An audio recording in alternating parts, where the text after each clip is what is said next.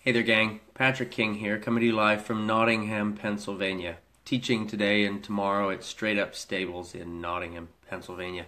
Today's question comes to us from Claire, and Claire wants to know how do you reconcile needing to work your horse at all gaits while simultaneously ensuring that you're preparing your horse to be successful before asking for particular kinds of work? Loping or cantering in this case.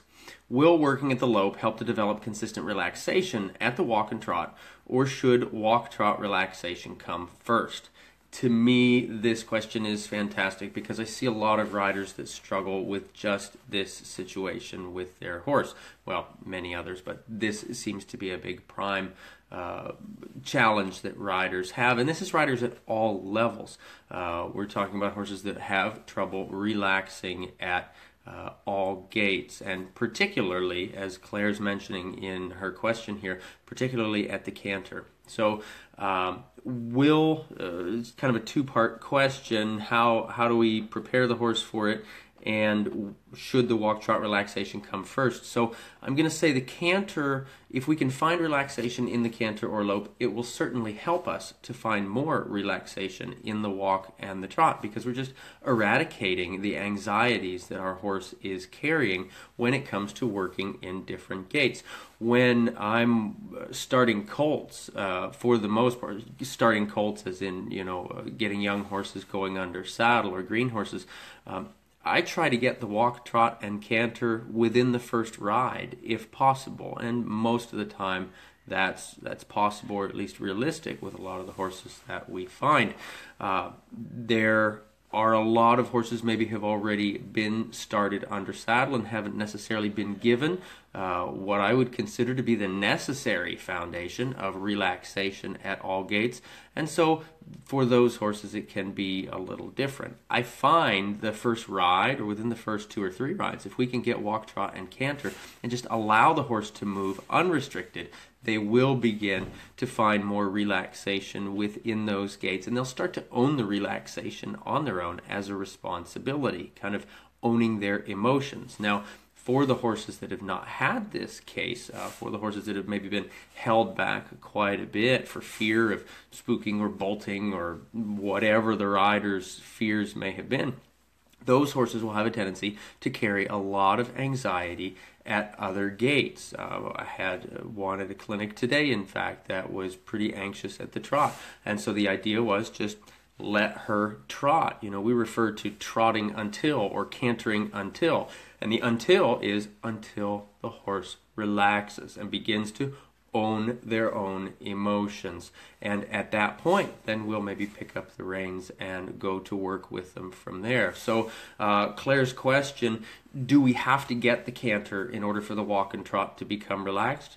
No, not necessarily. But if we avoid the canter, then we're avoiding the challenge uh, of facing the horse's emotions that way. So if we can work that horse into the canter uh, and canter until, right? Allow them, I'm a big fan, let those horses go to the buckle. Make adjustments primarily with the inside rein if necessary uh, as we're riding to help maybe bring their mind into focus or something like that. Otherwise, going right back out to the buckle until the horse can own their emotions. How do we know if they're owning their emotions? The tempo is going to tell us a lot of that tempo, from my experience, tempo is an emotional condition of the gait. If the horse is erratic in their tempo, chances are they're erratic in their emotions. So when we're, say, we're cantering our horse along, in this case, the horse might be cantering fast and then slowing down, and then cantering fast and then slowing down.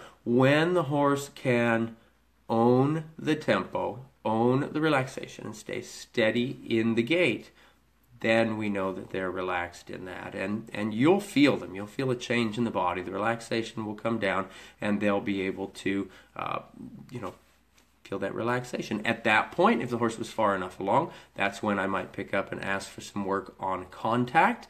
Uh, if the horse isn't quite at that point yet, then you know we go on and do whatever other jobs or tasks we had to do in those moments. So, uh, getting back to Claire's question, all of the gaits will help all of the other gaits, of course. If we can get relaxation at the canter, we'll have more relaxation at the trot, and then, of course, we'll have more relaxation at the walk. Should we jump into that? That's going to depend on your level as a rider. Can you handle if the horse gets emotional at the canter and gets fast, gets quick? Can you handle that without getting scared and without gripping?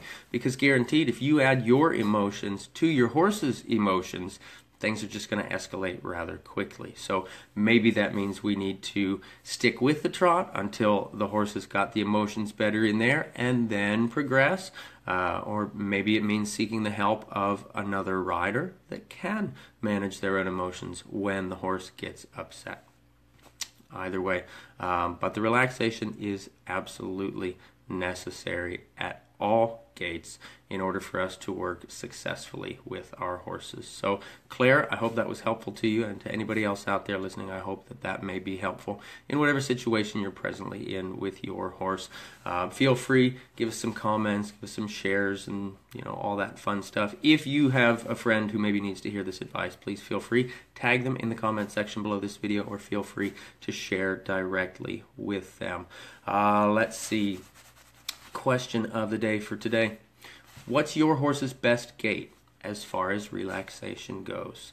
Uh, which one does he, do you feel like he owns his emotions the best at? All right, so what's your horse's best gait? Give me the answer to that in the comments section below this video here. Don't forget, gang, please keep submitting your questions. I look forward to making more of these daily or almost daily videos as much as possible. Your questions are necessary for that. Feel free, put them in the comments section, send them to us direct in a message, or even send us an email. You keep asking questions, and I'll keep talking about horses. Thanks, gang.